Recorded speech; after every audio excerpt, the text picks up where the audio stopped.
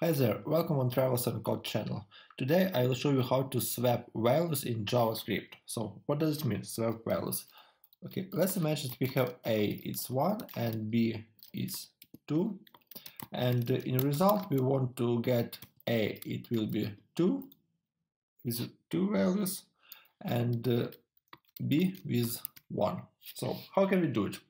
And the simplest way, so first of, first of all let's let's create these variables. The easiest way you can create it using the third value with temporary value. So let's create, let's try it. Then B assign A and uh, A assign temp.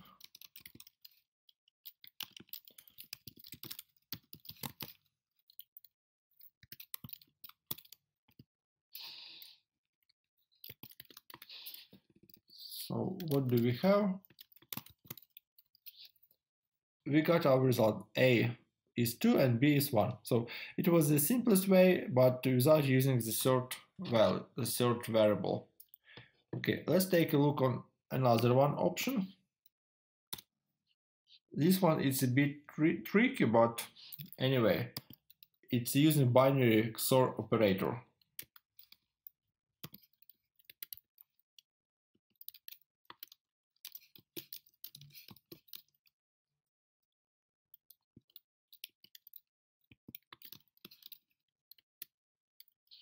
So let's take a look on the result. So again, we have the same the same values, but how does it work? This binary XOR operator is pretty tricky operator, and almost nobody use it. At least for my professional experience, I never used this operator and nobody from my colleagues never used this operator in a real production code because it's difficult to understand what how it works and in case you will change something it's very difficult to debug. But let's just take a look how it works from inside. So this XOR operator it checks bytes of your number and uh, compares two bytes. So let's take a look on A what bytes there are. And uh, we can use toString method and pass uh, digital basement for transforming. It will be 2, it will be it's um, let's increase this value a bit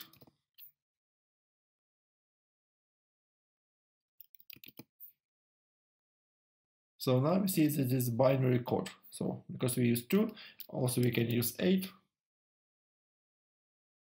but 2 is okay. And the same for B.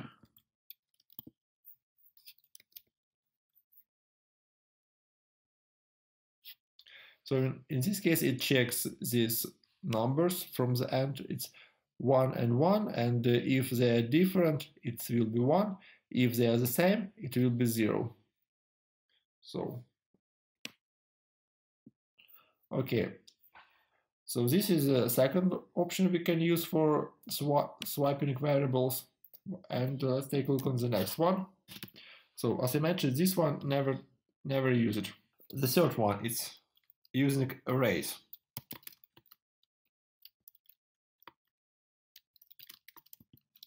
So it's a much more interesting case, let's call it. So we have the same result, just let's revert. So we have the same result. How does it work?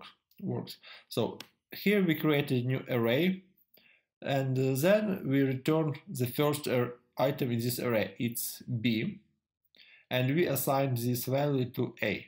And then we mutated b, we changed, we reassigned b with a. So right now it means that a, it will be the first item in array, it's b, and after that we reassign b to a, a to b, and uh, b was changed to 1.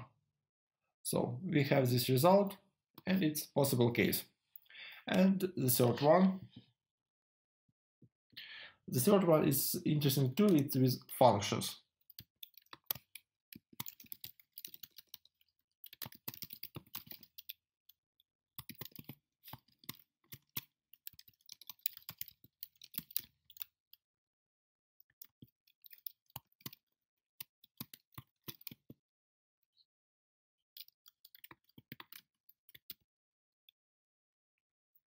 So let's call it here.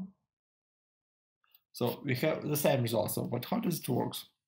So we created function and we are we passing a value parameter a and then we return it.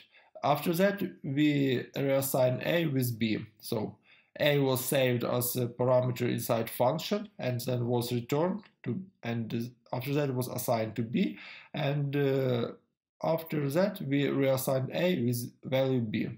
So also we could change it to a bit other way.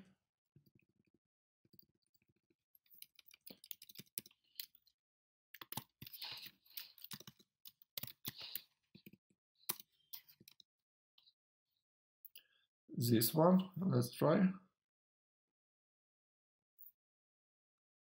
Okay, just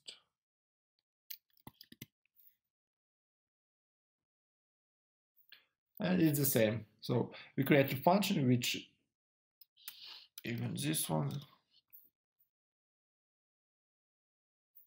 So we create a function which returns function and as parameter we pass this a value and then we change to a reassigned to b. And the last one, and it's the best, and uh, it's what you can use in ES6 or ES 2020 or even ES 2015 just A B B A.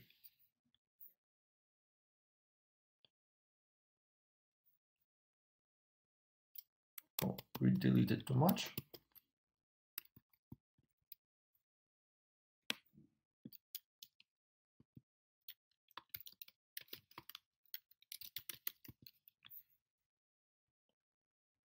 So we have the same result. So and it's the best case because uh, usually from my professional experience, this approach we using often, very often.